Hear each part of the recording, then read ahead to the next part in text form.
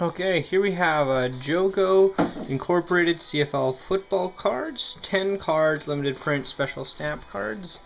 Uh, it is still in the plastic, as you can see here. Uh, yeah, it's got all the teams at that time on the sides. And, yeah, some other details there. And on the back, it just says uh, where they were made. So if you're interested, uh, throw a bid up, or uh, if you need more information, send me an email via eBay or info at tresora.com. Thank you.